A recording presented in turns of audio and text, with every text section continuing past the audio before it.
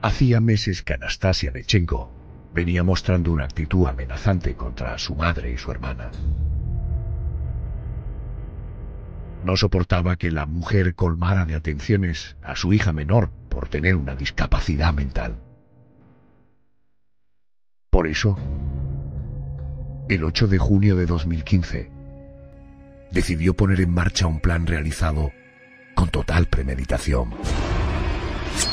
Con un afilado cuchillo, apuñaló a su madre y la remató ahogándola con una soga. La misma soga que usó para estrangular a su hermana. Luego, con una frialdad que sobrecoge, esperó una hora y media para que los cadáveres se enfriaran. Ya iniciado el rigor mortis, Anastasia abrió los dos cuerpos en canal y les extrajo el corazón. Luego, les arrancó los ojos para lanzarlos por el inodoro. Como reconocería tiempo después, en ese momento, la asesina pensó, para matar a una bruja, a un espíritu maligno, hay que descuartizarla. Tengo que cortarle las extremidades para que sus espíritus no puedan viajar. Sin ningún tipo de remordimiento, decapitó a su madre y a su hermana, cortó sus cuerpos en pedazos y los metió en bolsas de basura. Antes de marcharse de la vivienda, grabó un vídeo en el que reconoció el doble asesinato. En la actualidad, Anastasia Lechenko se encuentra en prisión a la espera de juicio. Sus abogados mantienen que es inocente y que se confesó culpable porque los agentes de policía la forzaron a ello, por medio de amenazas y agresiones. Si no se produce ningún retraso, a finales de este año 2018, la asesina confesa recibirá su sentencia judicial.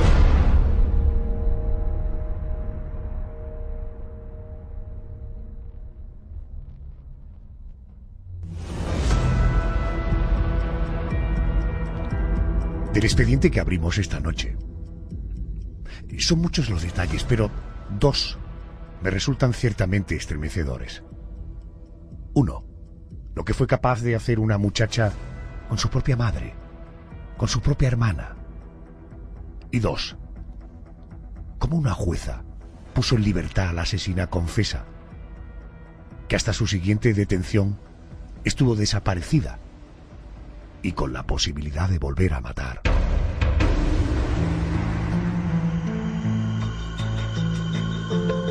José Manuel Frías, buenas noches y bienvenido. Buenas noches, Adolfo. En el caso de Anastasia, hablamos de una chica mexicana pero por el nombre ella tenía ascendencia ucraniana, ¿verdad? Efectivamente, aunque Anastasia nació en el estado mexicano de San Luis de Potosí en 1996, ella era hija de dos inmigrantes ucranianos, hablamos de Igor y Yulia, que se habían conocido trabajando en ese famoso circo ruso, él como entrenador de gimnastas y ella como acróbata y bailarina. Una chica muy atractiva, por cierto. Eh, pero por lo que he podido leer, eh, cuando, cuando nació Anastasia ya no trabajaban en el circo, ¿no? No, un año antes de nacer Anastasia, hablamos del año 1995, ellos abandonan su trabajo en el circo y se establecen en México.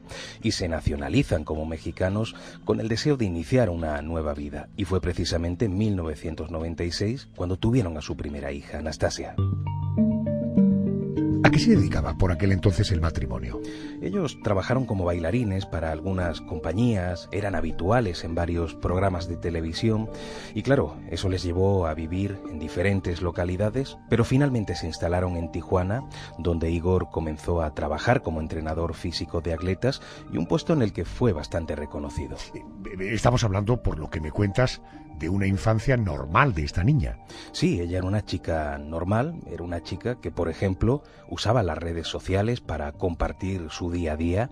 Eso sí, la única particularidad es que le gustaba el cine de terror demasiado sangriento, le gustaban las escenas de violencia.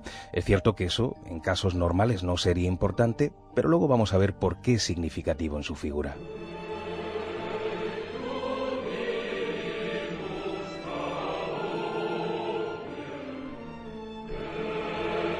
Al igual que Igor trabajaba de entrenador, su esposa Lurilla daba clases de ruso y actuaba como activista a favor de Ucrania y en contra de los Estados Unidos.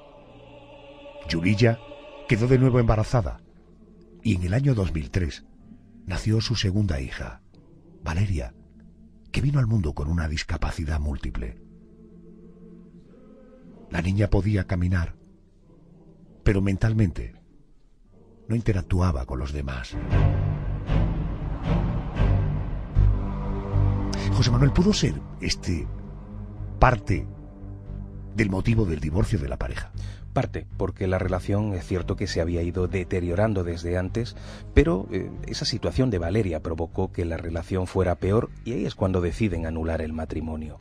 Y esa discapacidad de Valeria influyó también bastante en Anastasia, porque claro, la muchacha veía cómo su madre comenzaba a desatenderla a ella para desvivirse por su hermana pequeña, cosa que era normal. Eh, a la madre le preocupaba mucho la enfermedad que sufría y era una enfermedad que le impedía saber, entre otras cosas, qué pasaba por la cabeza de Valeria. Todo empeoró cuando Anastasia entró en la escuela secundaria. Ahí cambió su carácter por completo. Fue en el año 2010 cuando Anastasia ingresó en la escuela secundaria técnica número uno. Tenía 14 años por esa fecha y su forma de ser cambió a peor, sobre todo cuando empezó a coquetear con las drogas. Una de sus profesoras llegó a decir lo siguiente. Siempre se la veía malhumorada, como enojada con la vida. Esta es mi hipótesis. Cuando toda la atención se vuelca en un hijo con educación especial, se puede crear cierto resentimiento en los otros miembros de su familia.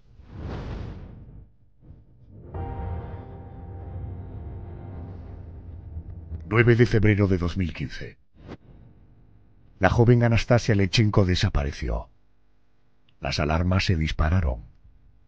Y la ciudad fue cubierta con carteles de la muchacha, pidiendo la colaboración ciudadana. Todos creyeron que había sido secuestrada y posiblemente asesinada. Y a pesar de la intensa búsqueda, la policía no lograba dar con ella. El Centro de Apoyo de Personas Extraviadas dio algunos datos para poder identificarla.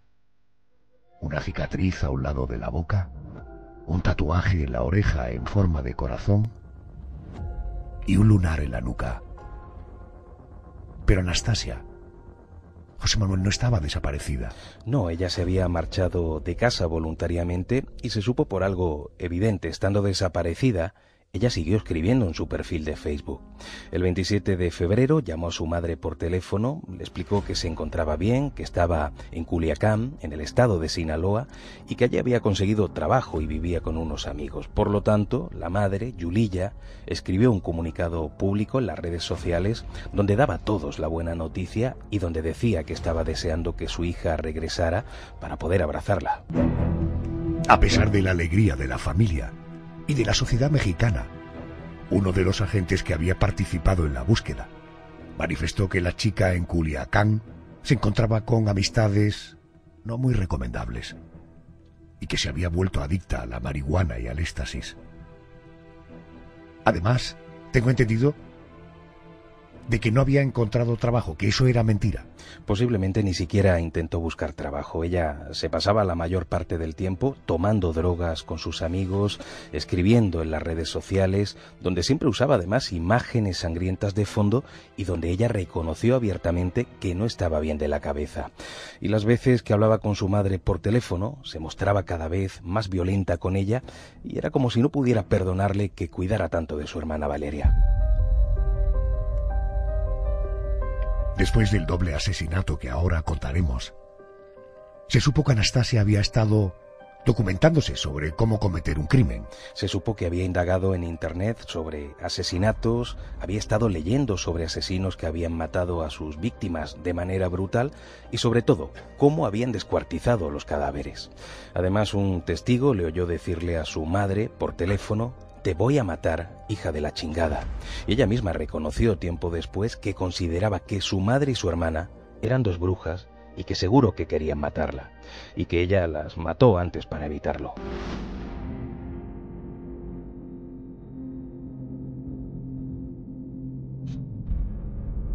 ...8 de junio del año 2015... Anastasia Lechenko decidió llevar adelante su plan. Entró en la vivienda familiar con un afilado cuchillo. Su madre estaba sentada en un sillón. La muchacha diría después, creo que mi mamá ya sabía que la iba a matar y no opuso resistencia. Y así fue. Anastasia se abalanzó sobre ella con el arma y la cuchilló. Después la remató ahorcándola con una soga. Ya muerta, Anastasia acudió al cuarto de su hermana Valeria, la pequeña, que debido a su discapacidad no se defendió y dejó que la asesina la ahorcara con la misma soga hasta producirle la muerte.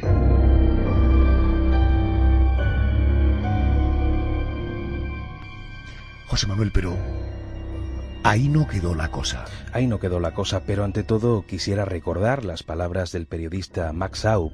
Él conocía personalmente a Yulilla y, bueno, llevó a cabo una minuciosa investigación sobre este caso. Dijo lo siguiente. El día fatídico que Anastasia, en su estado de drogadicción, se acercó a casa, su madre no tenía ni idea de su estado agresivo y de su locura. Ella solo quería estar bien con Anastasia. Sin duda, fue sorprendida para ser asesinada a traición y dejar, a su vez, sin protección a la pequeña Valeria. La frialdad con que actuó Anastasia contrasta como agua y fuego con la manera tan hermosa, amorosa y sublime que su madre expresó siempre sobre su hija mayor. ¿Y José Manuel, ¿qué hizo Anastasia después del doble asesinato? Lo que hizo fue demostrar su total premeditación porque, aunque durante el juicio ella dijo que escuchaba en su cabeza una voz que la incitó a matar a su madre y a su hermana, estaba claro que, había preparado todo al detalle. Una vez que mata a Yulilla, que mata a Valeria, se marcha de casa durante una hora y media porque había leído que ese era el tiempo en el que un cuerpo muerto se enfriaba, produciéndose ese efecto que se conoce como el rigor mortis, y es que era necesario que el cadáver estuviera frío para favorecer el descuartizamiento. Y una hora y media después regresó a casa. Regresó, y en este caso para descuartizarlas, pero casi como una especie de ritual, porque ya hemos apuntado antes que según el testimonio de Anastasia, su madre y su hermana eran dos brujas. La asesina dijo que las mató porque hacía tiempo que se sentía mal físicamente debido a la brujería que ellas le habían lanzado. Y explicó lo siguiente. Hacía tiempo que mi mamá se dedicaba a la brujería y mi hermana era una muñeca, su aliada, su títere. Y para que no continuaran esos trabajos tuve que matarlas. Para matar a una bruja, a un espíritu maligno, hay que descuartizarla. Anastasia no la apodaron la descuartizadora de Tijuana por casualidad.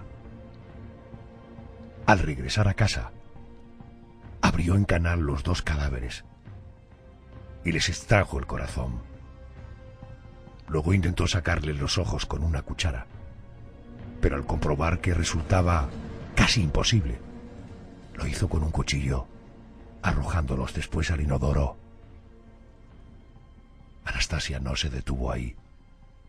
Con el mismo cuchillo, decapitó a su madre y a su hermana, y después cortó los cuerpos en varias partes, introduciendo aquellos pedazos en bolsas de basura. Siete horas duró el proceso de desmembrar a su madre, Yulilla, y a su hermana, Valeria. Anastasia contó lo siguiente. Tuve que cortarles las extremidades para que ya no viajaran los espíritus, y a la títere, la muñeca, había que sacarle los ojos.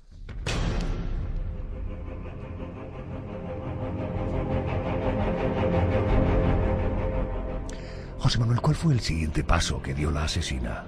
Pues esto es algo surrealista, porque después de todo lo que había hecho, los vecinos la vieron entrar y salir de casa fumando tranquilamente, o sea, parecía completamente calmada, tan tranquila que convivió durante dos días con los cadáveres, incluso grabó un vídeo con su móvil en el que reconocía el doble asesinato, y luego se marchó a casa de unas amigas. Yesenia, amiga de Anastasia. Y ella me dijo que, que escuchaba voces en su cabeza que le decían que tenía que matar a su mamá y a su hermanita, que luego tenía que matar a su papá con una pistola y luego suicidarse ella, que era para que las, personas las personas supiéramos de la existencia de los aliens. La llevé a su casa, y en el camino me empezó me confesó que había matado a su mamá y a su hermana y yo no le creía porque me había dicho que acababa de fumar marihuana. Entonces yo dije pues está alucinando estaba viendo que estaban ahí pero no creía que, que fueran ellos. O sea yo dije es, es carne de algún animal algo así. Pero no pues eran los cuerpos y simplemente fingí que, que no tenía miedo y, y le seguí la corriente. Pues la verdad es que lo estaba viendo y no lo creía sentí feo me quedé nomás así como no sé me quedé como paralizada, no sabía qué hacer en el momento. José Manuel, eh, eh, ¿cuándo se dieron cuenta las autoridades de lo que había ocurrido en aquella vivienda? Pues aparte de que los compañeros de trabajo de Yulilla estaban ya un poco extrañados de no ver a la mujer en tanto tiempo, al tercer día del doble asesinato, los vecinos avisaron a la policía para alertar del olor, ese olor a descomposición que procedía de aquella casa. Y cuando los agentes llegaron, encontraron las bolsas con los restos de cadáveres, por supuesto ya putrefactos, y aquellos restos fueron analizados por la Unidad Orgánica de Homicidios Dolosos y así consiguieron establecer su identidad. José María González, subprocurador contra delincuencia organizada. Están destazados completamente los desmembrados los cuerpos, en sus, en sus extremidades superiores, inferiores y cabeza. Confirman que de alguna manera el acto tomó, eh, fue interno, no hubo violación de chapas, no hubo, no hubo reporte, y entraba y salía la familia ¿Sospecharon de Anastasia desde un primer momento? Sí, teniendo en cuenta además diferentes indicios. Las cerraduras no habían sido forzadas, no habían robado nada. Varios vecinos reconocieron la mala relación de Anastasia con su madre y con su hermana y además algo importante, cómo la habían visto aquellos vecinos en los días anteriores rondando la vivienda. A la asesina la localizaron rápido y a ella no le costó reconocer su doble crimen ante los agentes de la unidad de homicidios.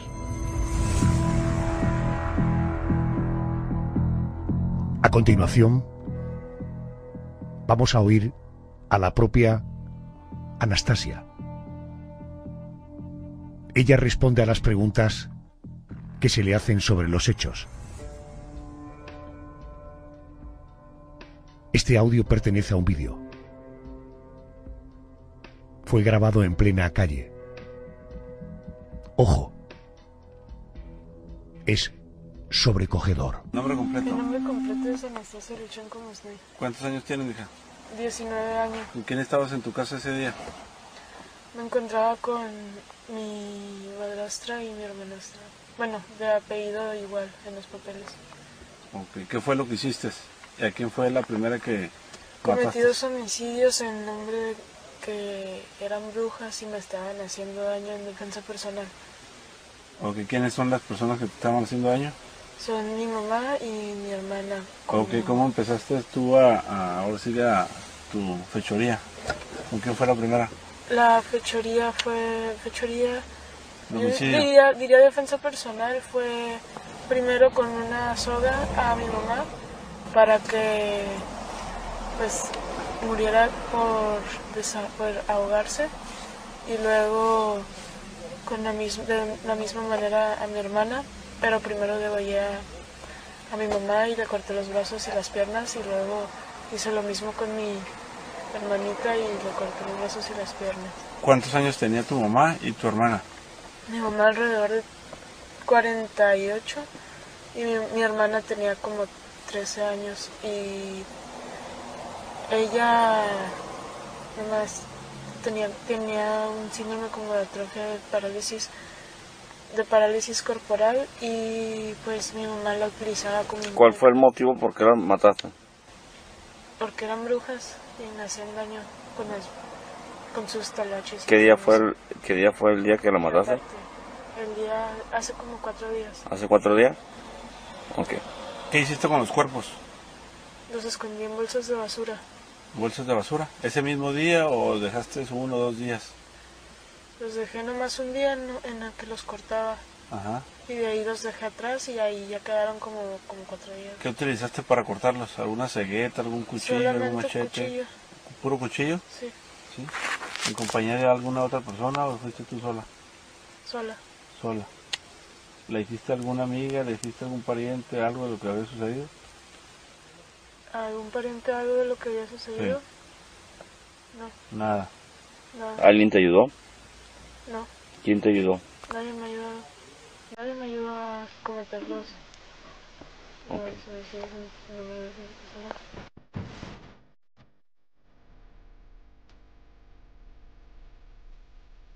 A la espera de juicio, Anastasia fue encarcelada. Antes se pudo demostrar que la muchacha no había actuado bajo los efectos de ninguna droga.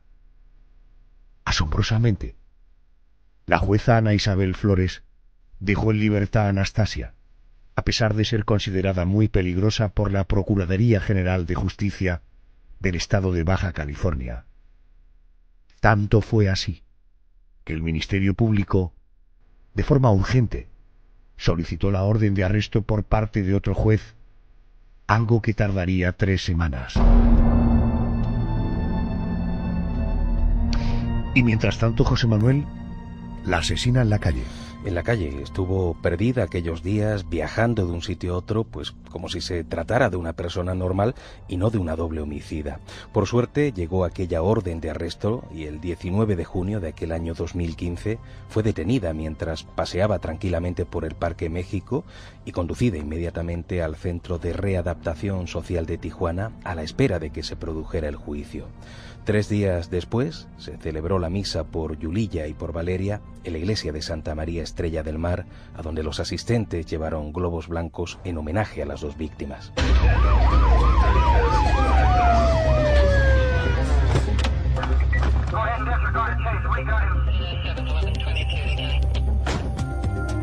Hacemos parada ahora en el despacho del detective privado, criminólogo, director de seguridad, Enrique Vega. Buenas noches. Buenas noches, Adolfo. ¿Cómo se produce la investigación y la detención de Anastasia Lechenko? Pues mira, Adolfo, la noche del miércoles 10 de junio, la policía llegó a la casa motivada por dos denuncias. Eh, en la primera, los vecinos denunciaban los malos olores de descomposición que salía de la casa, y en una segunda denuncia anónima de una mujer, eh, se informaba que la joven Anastasia le había pedido ayuda para tirar las bolsas con los cuerpos, porque no podía con ellas ni tenía miedo, eh, medios para hacerlo. Algo que a priori parece no cuadrar con un asesino que se oculta de su crimen. La policía, ante estos indicios, entra en la casa y se encuentra en el macabro escenario del crimen. En plena investigación y toma de pruebas, aparece el padre de Anastasia, que se había separado de la madre dos años atrás y que no tenía contacto con la familia desde entonces. Y argumenta que le había llamado un vecino contándole lo sucedido. Días más tarde, testificaría que se había enterado por Facebook. Es su padre el que pone sobre la pista de su hija, argumentando que la única persona que habitaba la casa y que no se encontraba allí era Anastasia, y que un día antes de la, la había visitado y que se puso nerviosa y lo echó de la vivienda de forma agresiva y él se fue sin más. La policía ante estas testificaciones puso una orden de detención sobre Anastasia y ella es detenida cuando tomaba algo tranquilamente con unas amigas. Una actitud muy cínica o muy inocente para un supuesto asesino. La Fiscalía, ante la inoperancia de la policía, dado que se le había solicitado ciertas pruebas periciales que nunca llegaron a juzgado, determinó dejarla en libertad. La prueba más contundente que tenía la policía eran las propias declaraciones de Anastasia, que hemos oído hace un momento, en el que aparecía en un vídeo admitiendo y narrando los crímenes. Se dicta una orden de detención contra Anastasia días más tarde desde otro juzgado que en principio no tenía las competencias sobre ella. Y de esa forma es detenida de nuevo, nuevamente sin fuerza, en un parque cercano de donde residía. Anastasia fue encerrada y en las primeras vistas cambia su declaración no admitiendo su culpa y proclamando su inocencia debido a nuevas circunstancias. Anastasia denunció haber sufrido tortura y abusos sexuales por parte de cuatro policías que la detienen la primera vez, obligándola a declararse culpable de los asesinatos. En su denuncia muestra los golpes que aún tenía marcados y se establece por parte del juzgado aplicar el protocolo de Estambul, protocolo que, aunque no es de obligado cumplimiento, es reconocido internacionalmente y contiene, estándares y procedimientos de cómo reconocer y documentar síntomas de tortura. Algo que normalmente se toma como evidencia clara ante un juzgado. Y en el caso de Anastasia, se verifica la tortura y por parte del juzgado se insta a abrir una investigación a los cuatro policías por tortura y abusos sexuales. El vídeo que he tenido la oportunidad de ver aparece Anastasia eh, con un foco hacia su rostro y con una cara compungida admitiendo y contando la secuencia del crimen. La teoría de la inocencia de Anastasia tomó fuerza en cuanto no se encontró el arma homicida por parte de la policía, aunque ella había confesado que había investigado en Internet cómo asesinar y descuartizar los cuerpos, nunca se le encontró un ordenador para poder verificarlo. Tenía la coartada de haber tenido sexo con tres hombres distintos a cambio de dinero en los días anteriores a la detención. De la acusación del consumo continuado de drogas que pudo ponerla en un estado de psicosis para ejecutar los crímenes se demostró en las pruebas de sustancia que no había consumido nada en los días anteriores. Por todo ello, y con el único argumento en contra de sus declaraciones de culpabilidad, la veracidad, al menos, ha quedado desvirtuada. Son muchas las corrientes que hablan de corrupción policial y argumentan dos versiones diferentes. En primer lugar, la venganza de su exnovio o la posible venganza de, venganza de su exnovio, donde después de abandonarlo había verdaderos indicios de que podía atentar contra ella o su familia y pudo asesinarlo delante de ella para haciéndola sentirse, sentirse cómplice y amenazada de muerte. Y la posibilidad de que fuera una muerte por tráfico de órganos, en segundo lugar, dado que órganos principales no aparecieron nunca, argumentando que se tiraron al inodoro, y el hecho irrefutable que los cortes precisos de los cuerpos en lugares quirúrgicos y bien elegidos no pudiera haber sido producido por una sola persona y además inexperta. No obstante, con su encarcelación, encarcelación perdón, se estaría tapando el origen real de los crímenes. Y la única persona imputada, con algunas pruebas contundentes, sigue siendo Anastasia. Y como tal, está actualmente en espera de juicio. Aunque yo, personalmente, Adolfo, no descartaría nuevas sorpresas. Enrique, gracias y buenas noches. Buenas noches.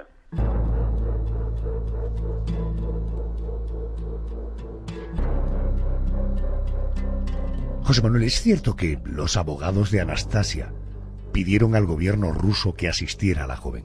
En realidad no se sabe si esa solicitud fue real, pero los abogados sí aseguraron que Anastasia recibiría esa asistencia, aunque hay que decir que el gobierno ruso, preguntado al respecto, dijo que el consulado no intervendría para nada en el proceso, y lo alegó de la siguiente manera. Por lo que sabemos, aunque su madre era una ciudadana ucraniana, sus hijas nacieron en México.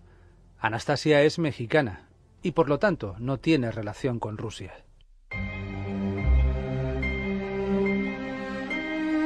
Llegados a este punto, mantuvo Anastasia su culpabilidad. Pues es curioso, pero, pero no. Al poco de ser ingresada en el centro de readaptación, dijo que había sido torturada, que había sido violada por la policía y que fueron precisamente los agentes los que, usando la fuerza, usando la agresión, la habían forzado a dar una versión falsa. Pero claro, aquello no se sostenía. Ya hemos eh, comentado hace un ratito que la misma Anastasia se grabó una especie de selfie con el móvil confesando el doble asesinato. Y ese vídeo estaba en poder de las autoridades sobre la presunta agresión policial sobre Anastasia. La asesina dijo lo siguiente. Me llevaron, me gritaron y me pegaron cachetadas y apretones, me ataron de pies y manos y recibí agresiones verbales. Varios agentes abusaron sexualmente de mí. Me declaré culpable porque ellos me obligaron. Llegamos después a otra comisaría de policía y otro agente me golpeó en el abdomen y me descoyuntó un brazo diciéndome al oído que si le permitía tener sexo con él, yo saldría antes a la calle. Después me llevaron a un hotel donde abusaron otra vez de mí.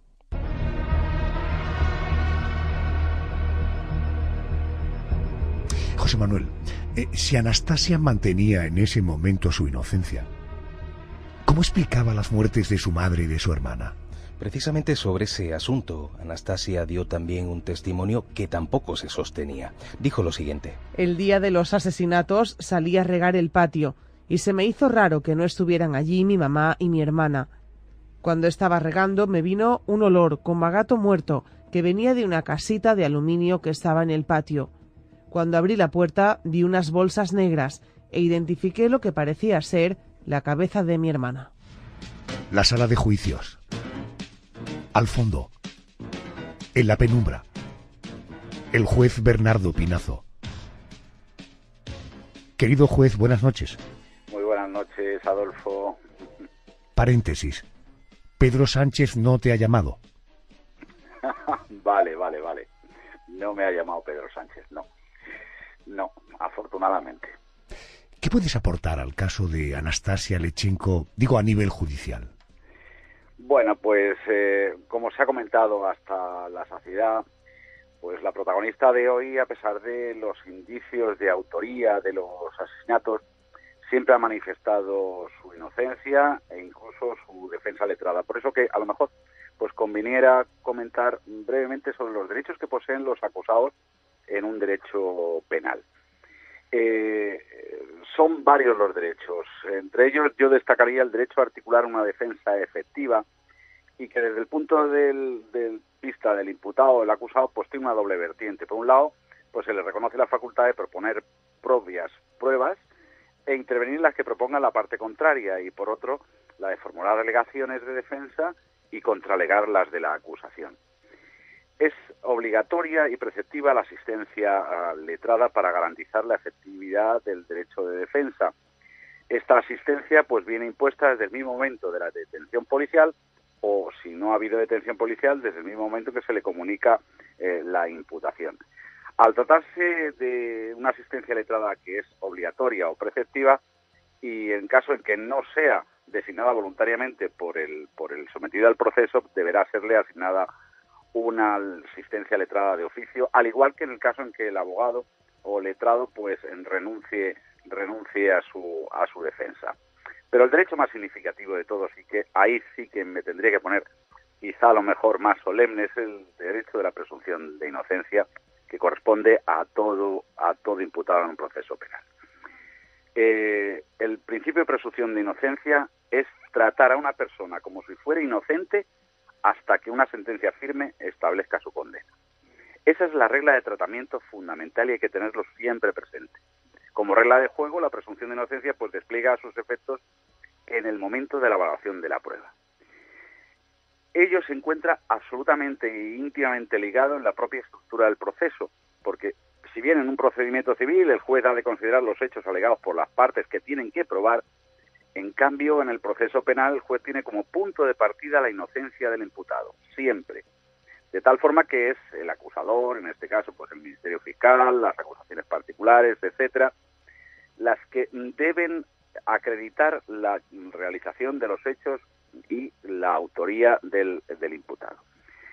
Tal es así que eh, la prueba de practicarse en el juicio oral, en presencia de los jueces, o en el caso del tribunal, eh, de varios jueces con respecto a los principios de igualdad, de contradicción, inmediación, publicidad.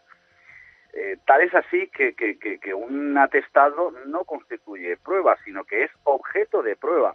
La policía, pues más que realizar actos de prueba, lo que se le encomienda conforme a todas las legislaciones es la averiguación del delito y el descubrimiento del delincuente. La realización de los actos de investigación corresponden a acreditar el hecho punible y su autoría y el juez pues no puede fundamentar su sentencia en una prueba prohibida si no son en los hechos y con los actos, con los principios que anteriormente hemos dicho. Lamentablemente, Adolfo, pues en la actualidad el principio de presunción de inocencia, pues a lo mejor se ha desvirtuado y se está olvidando de que existe.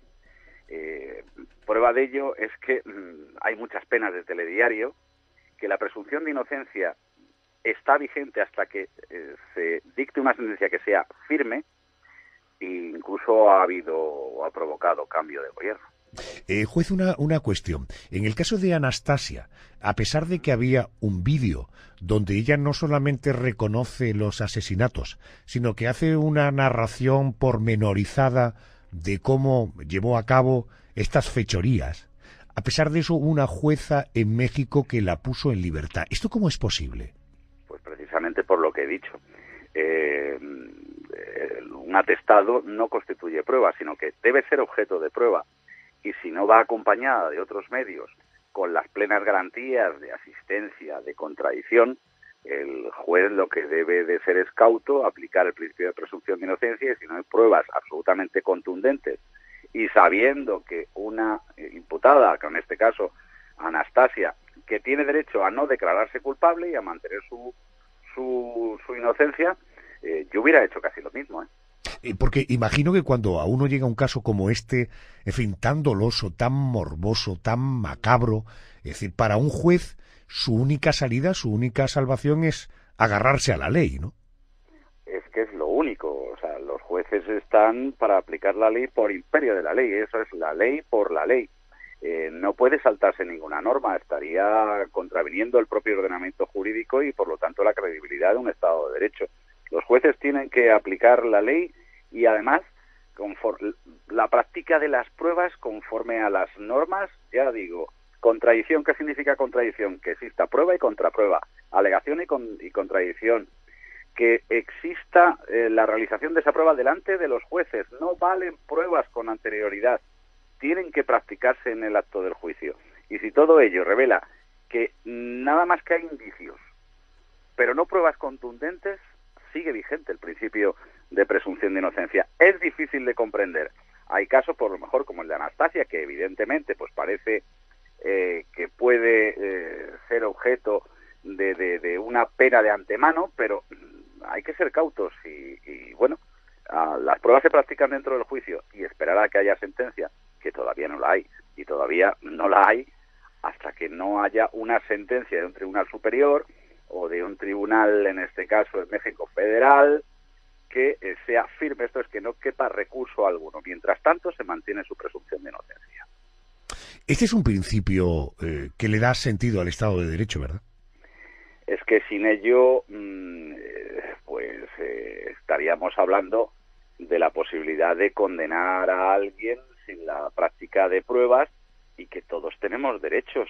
A pesar de, ser un imputado, ese imputado tiene todavía quizá más derechos que un ciudadano normal, porque si no lo que se estaría es eh, convirtiendo un Estado en un Estado incívico y precisamente delincuente, no de derecho, que es muy difícil aplicar, pero que se han ganado pleitos penales o casos penales precisamente por, por conculcar esos principios a la práctica de las pruebas y se ha tenido que anular el juicio y que han salido absueltos precisamente por no respetar los principios, Adolfo. Señoría, permiso para retirarme del estrado. pues eh, el permiso lo tiene usted concedido desde siempre. Gracias y buenas noches. Buenas noches.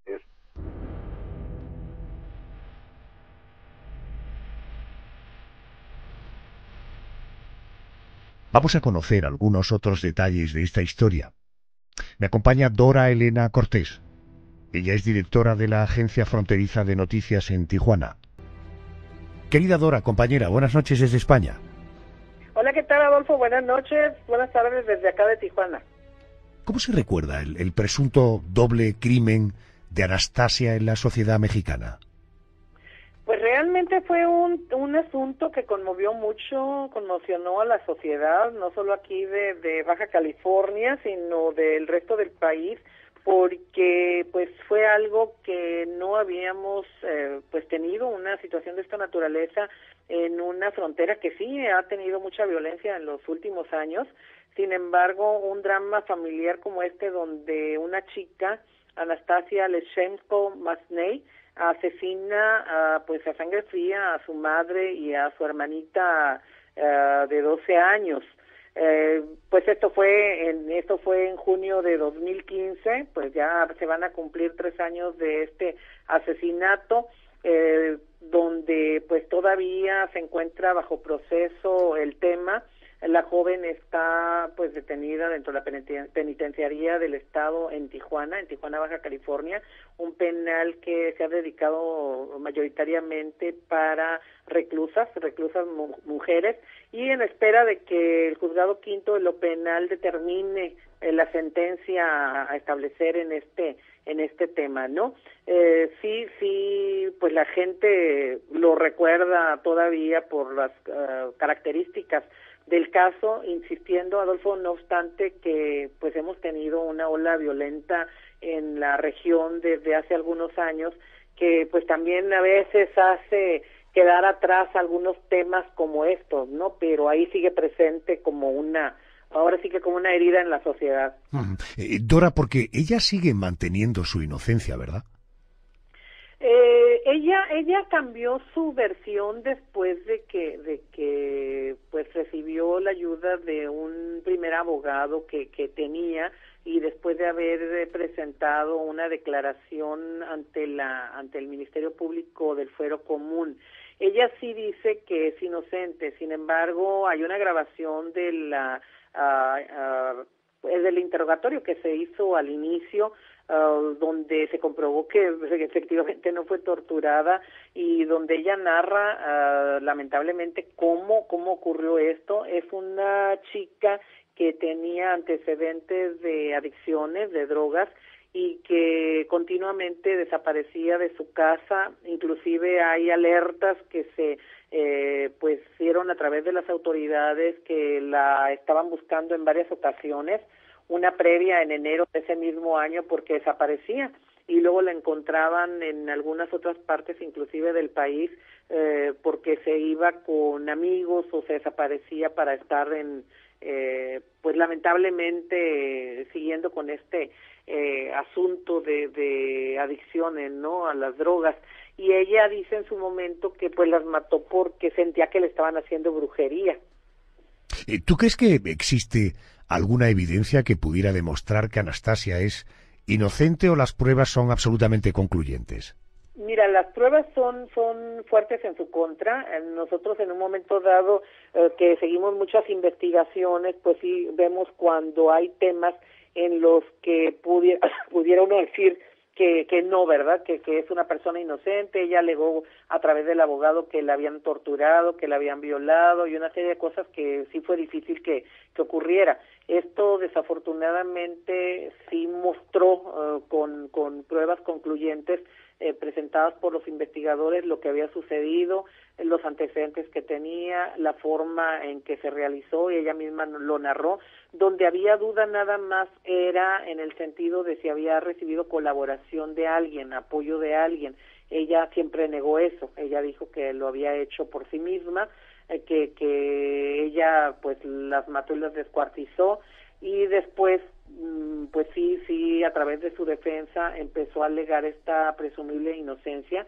Sin embargo, te insisto, lamentablemente las pruebas que se recabaron en su momento y la propia ah, declaración que, que hizo después de haber sido también eh, pues certificada de que no tenía golpes, de que no tenía ah, lesiones, nada, nada que, mostrara que hubo ese abuso sexual que ella señalaba, eh, pues sí le dieron a, pues la, al Ministerio Público los elementos para poder presentarla ante el juez con esa acusación.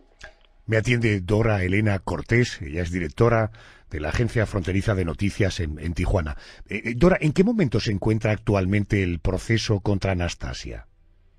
Actualmente sigue en diligencias, o sea, presentándose pruebas por parte de una y otra de las partes, o sea, del Ministerio Público, del, del Fuero Común y del abogado, es una abogada la que la que la defiende, que está pues eh, representando la petición del padre, eh, que, que eh, lo que sucedió es que al principio cuando esto ocurre se presenta un primer abogado que llega por sí mismo para, para defenderla.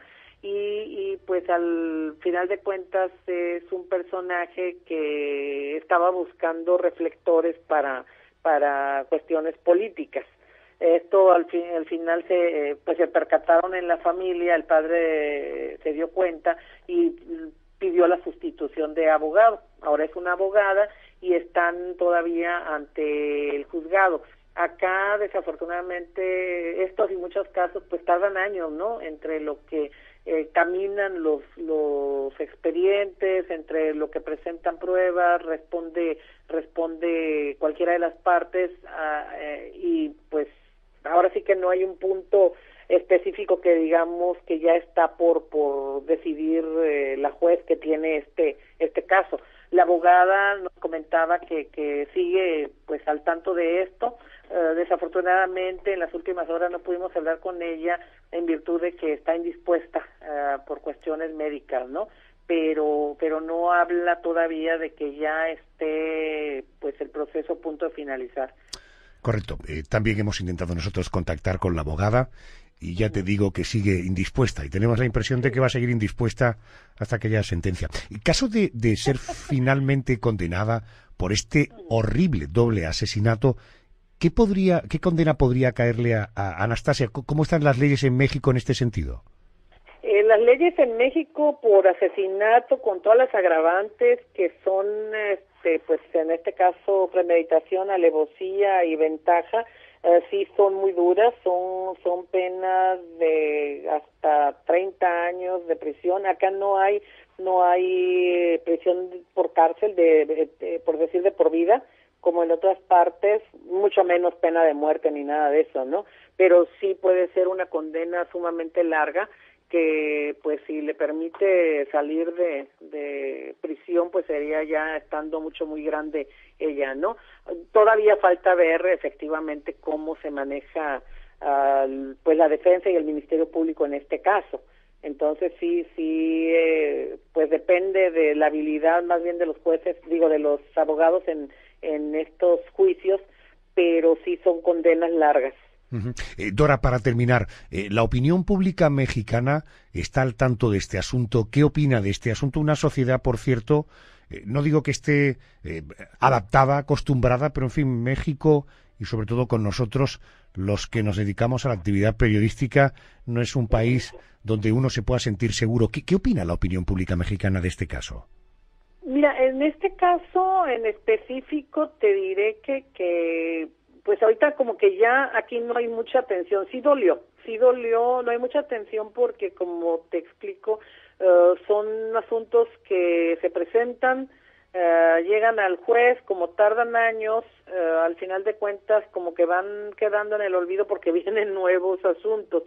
Y desafortunadamente aquí en Baja California, igual que en varias partes del país, los crímenes han estado a la orden del día y, y se han presentado muchos con características muy espantosas, pues eh, no te quiero decir que, que estamos totalmente en un caos aquí porque eh, podemos decir que todavía hay zonas donde podemos eh, transitar tranquilamente, ¿no? Pero en el mundo este donde se están dando las, las rencillas, donde se están dando las ejecuciones, eh, sí está, sí está prácticamente, pues, continuo el tema. Ahorita, en lo que va de este año, tan solo en Tijuana han asesinado a poquito más de mil personas en menos de, bueno, en medio año. Entonces ya ya sabrás cómo está la situación y, y, lamentablemente son casos que tienen también características eh, pues preocupantes como en este que fue insisto de los que más conmovió pero como ya pasaron unos años no es algo que esté eh, ahorita en el tema pues no es algo que la gente esté siguiendo específicamente querida Dora eh, mucho ánimo y, y mucha suerte Muchísimas gracias y un saludo acá desde Tijuana, Baja California.